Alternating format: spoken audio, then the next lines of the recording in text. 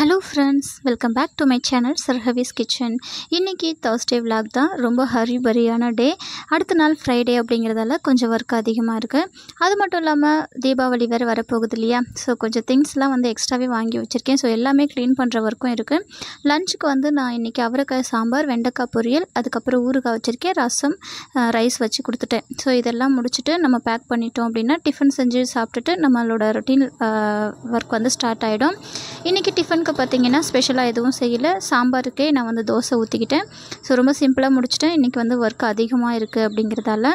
காலையில் அவர் வந்து சாப்பிட்டுட்டு கிளம்பிட்டார். அதுக்கப்புறம் நானும் பெரிய பையனும் வந்து தோசை ஊற்றி சாப்பிட்டுட்டு சின்னவருக்கு வந்து நட்ஸ் வந்து ஊற போட்டிருந்தேன். ஸோ அதை வந்து நம்ம அரைச்சி எடுத்து குழந்தைக்கு பிரேக்ஃபாஸ்ட் கொடுக்கணும். ரெண்டு பேரும் தூங் சாப்பிட்டு தூங்குனாங்க அப்படின்னா தான் அடுத்த வேலை வந்து என்னால் ஸ்டார்ட் பண்ண முடியும். அவங்க விளையாடிட்டு இருந்தாங்கன்னா என்னால் செய்ய முடியாது. ஸோ குழந்தைக்கு வந்து இன்றைக்கி பிஸ்தாவும் முந்திரியும் ஊற வச்சு அதை வந்து நான் பாலில் அரைச்சி எடுத்திருக்கேன். அதை தான் அவனுக்கு வந்து பிரேக்ஃபாஸ்ட்டாக கொடுக்குறேன். இது வந்து ரொம்ப நேரம் ஊற தேவையில்ல. ஒரு ஃபிஃப்டீன் மினிட்ஸ் ஊறுனா போதும். ஸோ பிரேக்ஃபாஸ்ட் கொடுத்துட்டு குழந்தைங்களுக்கு நானும் சாப்பிட்டு முடிச்சுட்டேன். அதுக்கப்புறம் கிச்சன் இப்படி இருக்குது ஆனால் கிச்சனை வந்து இப்போ என்னால் க்ளீன் பண்ண முடியாது. ஏன்னா குழந்தைங்க வந்து தூங்க ஆரம்பிப்பாங்க. ஸோ அவங்க கூட நான் வந்து போய் டைம் ஸ்பெண்ட் பண்ணணும். ஸோ இதெல்லாம் அப்படியே விட்டுட்டு அவங்கள வந்து கொஞ்சம் நேரம் விளையாட வச்சுட்டு அதுக்கப்புறம் தூங்கிடுவானுங்க ஸோ அவனுங்க தூங்கினதுக்கப்புறம் என்னோடய ஒர்க் வந்து ஸ்டார்ட் ஆகும். ஸோ கொஞ்ச நேரம் ஆகும். எப்படியும் ஒரு ஒன் ஹவர் போல் இவனுங்க வந்து விளையாடிட்டு கொஞ்சம் கலாட்டா பண்ணிட்டு தான் இருப்பானுங்க. அதுக்கப்புறம் தான் தூங்க ஆரம்பிப்பாங்க. வேறு வழியும் கிடையாது. இவங்களோட இருந்து தான் ஆகணும். ஏன்னா விட்டுட்டு போனோம் அப்படின்னா பின்னாடியே வந்து நம்மளை தொல்லை பண்ணுவாங்க. ஸோ அவங்களெல்லாம் தூங்க வச்சுட்டு அதுக்கப்புறம் கிச்சனுக்கு வந்து பாத்திரம்லாம் வாஷ் பண்ணி போட்டுட்டேன் சிங்க்கும் வந்து க்ளீன் ஆகிடுச்சு எப்போவுமே நம்மளோட எந்த ஒர்க்கு நம்ம ஸ்டார்ட் பண்ணுறோம் அப்படின்னாலுமே எனக்கு வந்து ஃபஸ்ட்டு நான் கிச்சனுக்கு ஃபஸ்ட் ப்ரிஃபரன்ஸ் கொடுப்பேன். கிச்சன் க்ளீனாக இருந்தால் தான் என்னோட மற்ற ஒர்க்கை வந்து நான் என்னால் செய்ய முடியும் ஃப்ரீயாக கிச்சனில் வந்து அப்படி அப்படியே போட்டுட்டு என்னால் மற்ற வேலை ஸ்டார்ட் பண்ணாலுமே எனக்கு எல்லா எண்ணமும் கிச்சன் மேலேயே இருக்கும். ஸோ இவ்வளோ ஒர்க் இருக்கே அவ்வளோ ஒர்க் இருக்கே அப்படின்னு கொஞ்சம் டென்ஷனாகவே இருக்கும். ஸோ நம்ம டென்ஷன் ஃப்ரீயாக ஒர்க் பண்ணணும் அப்படின்னா ஃபஸ்ட்டு நம்ம ஒர்க் பண்ண ஏரியாவை க்ளியர் பண்ணிவிட்டு அதுக்கப்புறம் நம்ம மற்ற வேலையை ஸ்டார்ட் பண்ணுறது பெஸ்ட்டு ஸோ நான் அதை தான் வந்து ஃபாலோ பண்ணுறேன் இங்கே வந்து பார்த்திங்கன்னா குழந்தைக்கு தேவையான நட்ஸ் ஐட்டம் அதுக்கப்புறம் அவனுக்கு சாப்பிட கொடுக்குற எல்லா ஐட்டமும் இங்கே நான் ஸ்டோர் பண்ணி வச்சுருக்கேன். அதுக்கப்புறம் பார்த்திங்கன்னா இது நிறைய பேர் கேட்டிருக்கீங்க இதை ஏன் நீங்கள் ஸ்டோர் பண்ணுறீங்க அப்படின்னு சொல்லிட்டு. குழந்தைங்களுக்கு நம்ம சாம்பிராணி போடும்போது இல்லை நம்மளும் குளிச்சுட்டு சாம்பிராணி போடும்போது இப்போ வந்து நான் இதை யூஸ் பண்ணிகிட்ருக்கிறேன் இதை பற்ற வச்சு நம்ம சாம்பிராணி ஈஸியாக போட்டுக்கலாம். அது மட்டும் இல்லாமல் இந்த மாதிரி மூணு கண் இருக்கிற தேங்காய் மூடியில் குழந்தைங்களுக்கு திருஷ்டி கழிச்சோம் அப்படின்னா ரொம்ப நல்லது. கண் திருஷ்டி படாது அப்படின்னு சொல்லுவாங்க. அதனால் நான் இது வந்து எப்போவுமே நம்ம தேங்காய் எடுக்கும்போது இதை தனியாக ஸ்டோர் பண்ணி வச்சுப்பேன். அதுக்கப்புறம் நம்மளோட கிச்சனும் வந்து க்ளீன் ஆகிடுச்சு ஸோ இப்போ வந்து நம்மளோட ஒர்க்கை ஸ்டார்ட் பண்ணிடலாம். பெரிய பையன் இன்னும் தூங்கலை. ஸோ அவன் கூட கொஞ்சம் தூங்குறதுக்கு லேட் ஆகும். ஏன்னா அவன் இப்போ தான் குளிச்சிருக்கான். ஸோ குளிச்சுட்டு கொஞ்சம் நேரம் விளையாடிட்டு அதுக்கப்புறம் தான் தூங்குவான். சின்னவன் வந்து தூங்கிட்டான். ஸோ பெரிய பையனை வச்சுட்டு வேலை செய்கிறது பிரச்சனை இல்லை. ஏன்னா கூடவே அவன் வந்து டிஸ்டர்ப் பண்ணிகிட்டே செஞ்சுட்டே இருப்பான். சொன்னால் புரிஞ்சுப்பான். ஸோ அதனால் கூட வச்சுட்டே கூட செய்யலாம். அப்புறம் எனக்கு வந்து கஷ்டம் கிடையாது. இப்போ வந்து எல்லா திங்ஸும் எடுத்து வச்சுருக்கேன். இனி பூஜை பாத்திரம் எல்லாமே கொஞ்சம் அதிகமாக தெரியும். ஏன்னா தீபாவளி வருது இல்லையா? ஸோ நிறைய புது பாத்திரங்கள் வந்து வாங்கியிருக்கோம். ஸோ அது எல்லாமே என் நான் வந்து வீடியோவில் தனியாக ஷேர் பண்ணுறேன் பூஜை பாத்திரம் எல்லாமே எடுத்து வச்சுட்டேன். அதுக்கப்புறம் பூஜை மேடையும் வந்து க்ளீன் பண்ணணும். ஸோ எல்லாமே மாற்றணும் இந்த டோட்டல் செட்டப்பே வந்து மாற்றலாம் அப்படின்னு சொல்லிட்டு இருக்கேன். ஸோ பூஜை பாத்திரமும் ஆல்மோஸ்ட் க்ளீன் ஆகிடுச்சு ரெண்டு காமாட்சி அம்மன் விளக்கும் அதுக்கப்புறம் பிள்ளையார் வச்சுருக்கிற மனை இது வந்து விட்டுட்டேன். காரணம் என்ன அப்படின்னு பார்த்தீங்கன்னா அடுத்தடுத்த வேலை வந்துகிட்டே இருந்துச்சு. ஸோ குழந்தைங்க வந்து எழ ஆரம்பிச்சிட்டாங்க. அதனால் அது ரெண்டு பெண்டிங்கில் இருக்குது ஸோ அதையும் வந்து நான் வாஷ் பண்ணணும்.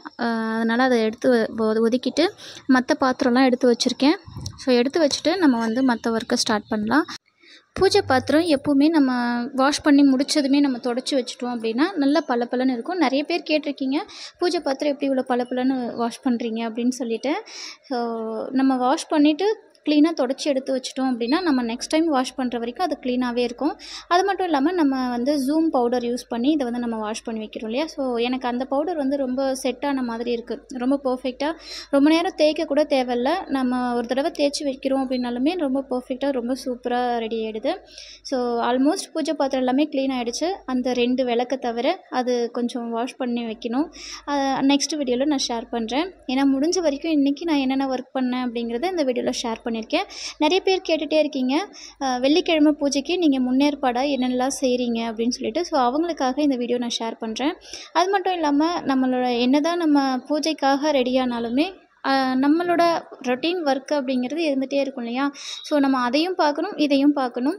அந்த டைம் மேனேஜ்மெண்ட் நான் எப்படி பண்ணுறேன் அப்படிங்கிறதுக்காக தான் உங்களுக்கு இந்த வீடியோ நான் ஷேர் பண்ணியிருக்கேன்.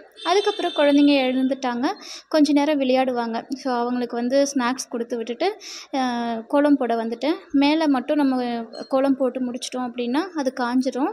அதுக்கு மேலே நம்ம திங்ஸ் எல்லாம் எடுத்து வச்சுட்டு அதுக்கப்புறம் நம்ம கீழே போ படியில் நம்ம கோலம் போட்டுக்கலாம். ஸோ அதுக்காக மேலே இருக்கிற அந்த ஸ்லாப் மட்டும் தொடச்சிட்டு வச்சுட்டு இந்த துடைக்கிறதையும் நான் வீடியோவில் ஷேர் பண்ணியிருக்கேன். கொஞ்சமாக நல்ல தண்ணியில் பன்னீர் விட்டு அதுக்கப்புறம் நம்ம க்ளீன் பண்ணுறோம் அப்படின்னா ரொம்ப சூப்பராக இருக்கும். அந்த பூஜை ரூமே பார்த்திங்கன்னா நல்லா டிவைனாக இருக்கும். அதுக்கப்புறம் நம்ம சிலைகளுக்கு யூஸ் பண்ணுற அந்த ஆகர்ஷண பொடி அதாவது பஞ்சமி பொடி அப்படின்னு சொல்லிட்டு நான் ஒரு பொடி வச்சுருந்தேன். அது நிறைய பேர் கேட்டுட்ருக்கீங்க அது எப்படி செய்கிறீங்க அப்படின்னு சொல்லிட்டு. அது என் அது என்ன பொடி அது அது எப்படி ரெடி பண்ணலாம் அப்படி வீட்டிலேயே எப்படி ரெடி பண்ணலாம் அப்படிங்கிறத நான் தனியாக வீடியோவாக கொடுக்குறேன்.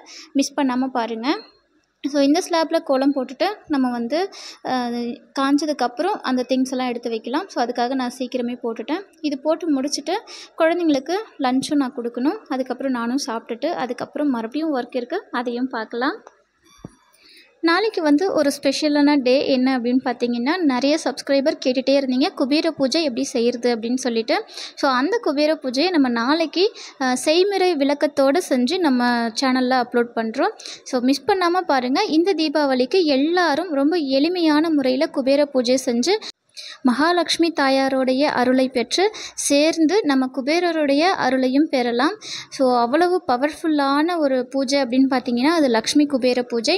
அது என்னைக்கு செய்யணும் எப்படி செய்யணும் அப்படிங்கிறத நான் செய்முறை விளக்கத்தோடு உங்களுக்கு வீடியோ அப்லோட் பண்ணுறேன் ஸோ அதுக்கான முன்னேற்பாடு தான் இதை செய்கிறேன் நம்ம என்ன தான் சும்மா வீடியோவாக நம்ம அப்லோட் பண்ணுறோம் அப்படின்னாலுமே ஒரு சில பூஜைகளுக்கு ஒரு பவர் அப்படிங்கிறது அதிகம் இல்லையா? சக்திகள் அப்படிங்கிறது அதிகம்.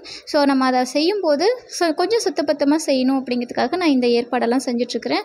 அதுக்கப்புறம் துணியும் துவைச்சி நம்ம வந்து காய போட்டுட்டு வந்தாச்சு. காலையில் வந்து அவரோட துணி துவைச்சிருந்தேன். ஸோ அதையும் எடுத்துகிட்டு இப்போ வந்து குழந்தைங்க மற்ற துணியெல்லாம் இருந்துச்சு. ஸோ அதையும் நான் தனியாக எடுத்து வச்சுட்டு துவைச்சி போட்டிருக்கேன். அதுக்கப்புறம் குழந்தைக்கு கஞ்சி காசனும் அதையும் எடுத்து வச்சுருக்கேன். இது வந்து நாட்டு மருந்து கடையில் ஒரு சில திங்ஸ்லாம் எல்லாம் வாங்கியிருக்கேன். இந்த குபேர பூஜைக்காக. ஸோ அதையும் உங்ககிட்ட நான் தனி வீடியோவாக ஷேர் பண்ணுறேன் என்னென்ன அப்படிங்கிறத நீங்கள் பாருங்கள் ரொம்ப எளிமையாக தான் நம்ம வாங்கிக்கலாம். எல்லாராலையும் வாங்க முடிகிற திங்ஸை வச்சு நம்ம பூஜை பண்ணலாம். ஸோ எல்லாரும் இந்த பூஜையை செஞ்சு அந்த லக்ஷ்மி குபேரரோட அருளை பெறலாம் அப்படின்னு நான் இந்த வீடியோவில் ஷேர் பண்ணிக்கிறேன். இந்த பவுடர் வந்து எனக்கு என்னோட நாத்தனார் வந்து வாங்கி கொடுத்துருந்தாங்க. குழந்தைக்கு யூஸ் பண்ண சொல்லி. ரொம்ப சூப்பராக இருக்குது நம்ம வீட்டில் எப்படி சத்து மாவு அரைப்போமோ அதே மாதிரி அதே மெத்தடில் அரைச்சி ரொம்ப ஹைஜீனிக்காக கொடுக்குறாங்க. ரொம்ப டேஸ்ட்டாகவும் இருக்குது இது நானுமே சாப்பிட்றேன். குழந்தைக்கும் கொடுக்குறேன். ஸோ ப்ரெஸ்ட் ஃபீட் பண்ணுற தாய்மார்கள் அதுக்கப்புறம் குழந்தைங்க எக்ஸ்ட்ரா ஃபீட் குழந்தைங்க கொடுக்குறோம் அப்படின்னா இது வந்து ரொம்ப சூப்பராக இருக்குது நம்ம வீட்டில் எப்படி செய்கிறோமோ அதே மாதிரி இருக்குது ரொம்ப அழ- ரொம்ப வந்து டேஸ்ட்டு அந்த டேஸ்ட் வைஸு அதுக்கப்புறம் அந்த பவுடரோட கன்சிஸ்டன்ஸி எல்லாமே ரொம்ப சூப்பராக இருக்குது அதுக்கப்புறம் வர சாட்டர்டே வந்து பார்த்திங்கன்னா ஐப்பசி அன்னாபிஷேக விழா இல்லையா? ஐப்பசி மாதத்தில் வர பௌர்ணமி அன்னைக்கு ரொம்ப விசேஷமாக வந்து சிவலிங்கங்களுக்கு அன்னாபிஷேகம் அப்படிங்கிறது ரொம்ப சிறப்பாக நடைபெறும். அந்த பூஜை எப்படி செய்கிறது நம்ம வீட்டில் லிங்கம் இல்லாமல் ஃபோட்டோ மட்டும் வச்சு இருக்கிறவங்க எந்த மாதிரி அதை பூஜை பண்ணலாம் அப்படிங்கிற வீடியோவும் நான் சாட்டர்டே அன்னைக்கு கொடுக்குறேன். அது மட்டும் இல்லாமல் அன்னைக்கு சத்யநாராயண பூஜையும் நான் வந்து ரொம்ப டீட்டெயிலாக செய்முறை விளக்கத்தோடு கொடுக்குறேன். ஸோ ஒவ்வொரு வீடியோவாக நம்ம வந்து அப்லோட் பண்ணிக்கலாம். ஏன்னா என்னால் எல்லா வீடியோவும் ஒரு சேர கொடுக்க முடியல. தனித்தனியாக கொடுக்குறேன். ஸோ ஒவ்வொரு வீடியோவும் நான் உங்கள் கூட ஷேர் பண்ணிக்கிறேன். அதுக்கப்புறம் குலதெய்வ பூஜை நிலைவாசல் பூஜை இது எல்லாமே கேட்டிருக்கீங்க. இனிமேல் தினம் ஒரு வீடியோவில் ஒவ்வொரு விஷயத்தையும் நான் ஷேர் பண்ணுறேன் பார்த்து தெரிஞ்சுக்கோங்க. இப்போ வந்து குழந்தைக்கு கஞ்சி ரெடி ஆகிட்டு இருக்குது நம்ம எப்போவுமே தண்ணி கொதிக்க வச்சுட்டு அந்த பவுடர் வந்து ஆட் பண்ணக்கூடாது. ஃபஸ்ட்டு தண்ணியில் நல்லா மிக்ஸ் பண்ணிக்கலாம். நான் வந்து கொஞ்சம் டேஸ்ட்காக பசும்பால் ஆட் பண்ணிக்கிறேன். இதை ஸ்கிப் பண்ணாலும் பரவாயில்லை. ஏன்னா பசும்பால் வேண்டாம் அப்படின்னு ஸ்கிப் பண்ணாலும் பரவாயில்ல. ஆனால் இந்த பசும்பால் ஊற்றி செய்யும்போது இந்த டேஸ்ட் வந்து இன்னும் கூடுதலாக தெரியும். அதை நீங்கள் நோட் பண்ணியிருப்பீங்க ரொம்ப சூப்பராக இருக்கும் இந்த பசும்பால் ஆட் பண்ணும்போது. அந்த நாட்டு சர்க்கரையோட அதுக்காக நான் இதை ஆட் பண்ணிக்கிறேன். அதுக்கப்புறம் நம்ம வந்து இதை நல்லா ஒரு மூணு நிமிஷம் போல் நல்லா கொதிக்க வைக்கணும். ஸோ அந்த அந்த நான் ஏன்னா அதில் நட்ஸ் வந்து நிறைய ஆட் பண்ணியிருக்காங்க இல்லையா? ஸோ அது எல்லாமே இந்த கேழ்வரகு பாசிப்பயிறு நட்ஸு எல்லா ஐட்டமும் வந்து வெ நல்லா வெந்து வரணும். ஸோ அது வரைக்கும் நம்ம வெயிட் பண்ணலாம். இப்போ வந்து குழந்தைக்கு நான் சாப்பாடு எடுத்து வச்சுட்டேன். பெரியவனுக்கு சாதம் போட்டு சாம்பார் எடுத்து வச்சுருக்கேன். அவன் வந்து காயெல்லாம் சாப்பிட மாட்டான். ஸோ அதை நம்ம சாப்பாட்டிலே பிசைஞ்சு கொடுத்துட்டோம் அப்படின்னா அவனுக்கு தெரியாமே அதை சாப்பிட்ருவான் குழந்தைங்க வந்து கூடவே வச்சுட்டு நான் எடிட்டிங் ஒர்க் பண்ணுறதால குழந்தைங்களோட சத்தமும் இருக்கும். ஸோ இடையில அவங்களோட சத்தம் வரும். மன்னிச்சிக்கோங்க. அந்த வீடியோ வந்து டிஸ்டர்பன்ஸ் ஆகும். இப்போ வந்து குழந்தைக்கு கஞ்சி மாவு ரெடி ஆகிடுச்சு அந்த கன்சிஸ்டன்சி பாருங்கள் நல்லா கொதிச்சு இந்த இதுக்கு வந்திருக்கு. இவன் வந்து ரொம்ப திக்னஸோடு சாப்பிட மாட்டான். கொஞ்சம் லிக்யூடாக கொடுத்தா தான் அவன் சாப்பிடுவான். அதுக்காக நான் கொஞ்சம் இந்த ஸ்டேஜில் வந்து இறக்கிடுவேன். இது ஆறி வந்ததுக்கப்புறம் இன்னும் கொஞ்சம் திக்னஸ் ஆகிடும் ஸோ கரெக்டாக இருக்கும். இந்த மாதிரி தான் அவனுக்கு நான் கொடுக்குறது. ஸோ ஆஃப்டர்நூன் லஞ்ச் வந்து நான் இப்படி கொடுக்குறேன். பொதுவாக நம்ம கான்ஸ்டண்ட்டாக ஒரே மாதிரி ஃபுட் கொடுக்காம நம்ம வந்து அவங்களோட கொ- குழந்தைங்களோட ஃபுட்டை வந்து மாற்றிக்கிட்டே இருக்கணும். இது மாதிரி சத்து மாவு கஞ்சி அதுக்கப்புறம் நட்ஸு பால் அதுக்கப்புறம் நம்ம ஃப்ரூட்ஸ்லாம் வந்து வேக வச்சு கொடுக்குறது. அந்த ஃப்ரூட்ஸ்லேயே நாட்டு சக்கரை போட்டு கொஞ்சமாக பால் கலந்து அதை வந்து குழந்தைங்களுக்கு கொடுக்குறது. இந்த மாதிரி கொஞ்சம் டேஸ்ட் வைஸ் வந்து அவங்களுக்கு மாற்றி மாற்றி கொடுக்குறோம் அப்படின்னா அவங்க வந்து ஈஸியாக சாப்பிட ஆரம்பிப்பாங்க. என்னோடய பையனுமே ஸ்டார்டிங்கில் வந்து சாப்பிட ரொம்ப அடம் பிடிச்சான். அவன் சுத்தமாக சாப்பிடவே மாட்டான். இப்போ இப்போ வந்து கொஞ்சம் கொஞ்சமாக பழகி கொஞ்சம் கொஞ்சம் கொடுத்துட்ருக்கேன். ஸோ இந்த மாதிரி நம்ம ஃபாலோ பண்ணும்போது குழந்தைங்களுக்கு ஈஸியாக வந்து நம்ம ஃபீட் பண்ணிடலாம். ரொம்ப சூப்பராக அவங்களுக்கு வந்து ஹெல்த்தியான விஷயத்தை நம்ம வந்து கொடுத்துடலாம். இப்போ வந்து சத்து மாவு ஆறி வந்துருக்குது. இன்னும் கொஞ்சம் நேரம் ஆறணும். ஸோ இந்த கன்சிஸ்டன்சி வந்துருச்சு பாருங்கள் இது வந்து பர்ஃபெக்டாக இருக்கும் குழந்தைக்கு ஊட்டுறதுக்கு. ஸோ இதை வந்து பவுலில் மாற்றிட்டு ஆற வச்சு குழந்தைக்கு ஊட்டி விட்டுருவேன். அதுக்கப்புறம் குழந்தைங்க சாப்பிட்டதுக்கப்புறம் நானும் சாப்பிட்டுட்டு அவங்களோட கொஞ்சம் நேரம் விளையாடிட்டு அதுக்கப்புறம் கொஞ்சம் ஒர்க் இருக்கும். அதையும் பார்க்கணும். ஸோ நம்மளோட லைஃப் எப்பவுமே இப்படி தான் போகும் இல்லையா? ஸோ குழந்தைங்களையும் பார்க்கணும். நம்மளோட மற்ற வேலைகளையும் பார்க்கணும். அதுக்கப்புறம் மதியம் ஆஃப்டர்நூன் என்னோட சாப்பாடெலாம் முடிச்சுட்டு கொஞ்சம் சிங்கில் வந்து பாத்திரம் சேர்ந்துருச்சு. இதையும் நம்ம கையோட வாஷ் பண்ணிட்டோம் அப்படின்னா நமக்கு கொஞ்சம் டென்ஷன் ஃப்ரீயாக இருப்போம். ஸோ அதுக்காக நான் எடுத்து வச்சுருக்கேன். எல்லா பாத்திரமும் க்ளீன் ஆகிடுச்சு இப்போ வந்து வாஷ் பண்ணியும் எடுத்து வச்சுட்டேன். ஸோ நமக்கு வந்து ஈஸியாக இருக்கும். அது அடுத்து காலையில் வாஷ் பண்ண பாத்திரமும் எடுத்து வச்சிடலாம். பாத்திரமும் வாஷ் பண்ணிவிட்டு சிங்க்கும் க்ளீன் ஆகிடுச்சு ஸோ பூஜை அறையில் அந்த கோலமும் போட்டு முடிச்சுட்டேன் ஆல்மோஸ்ட் பாதி ஒர்க்கு முடிஞ்சிருச்சு. இன்னும் ஒர்க்கு இருந்துகிட்டே தான் இருக்குது ஸோ ஈவினிங் போல் ஆகிடும் சொல்ல முடியாது. நைட்டுக்குள்ளே ஒரு நைன் தேர்ட்டி வரைக்குமே எனக்கு வந்து ஒர்க் இருந்துகிட்டே தான் இருக்கும். ஸோ ஃப்ரைடே அன்னைக்கு மட்டும் கொஞ்சம் ஒர்க் இப்படி இருக்கும். அதாவது கொஞ்சம் குபேர பூஜையும் செய்கிறதால கொஞ்சம் ஸ்பெஷல் ஒர்க் எல்லாம் இருக்குது ஸோ அதனால் அடுத்தடுத்த வீடியோவில் இன்னும் இன்ட்ரெஸ்டிங்கான விஷயங்களை பார்க்கலாம். உங்களுக்கு இந்த வீடியோ பிடிச்சிருந்தா மறக்காமல் லைக் பண்ணுங்கள் ஷேர் பண்ணுங்கள் கமெண்ட் பண்ணுங்கள் சப்ஸ்கிரைப் பண்ணிக்கோங்க. பக்கத்தில் இருக்கிற பெல் ஐக்கானை கிளிக் பண்ணிக்கோங்க. Thank you friends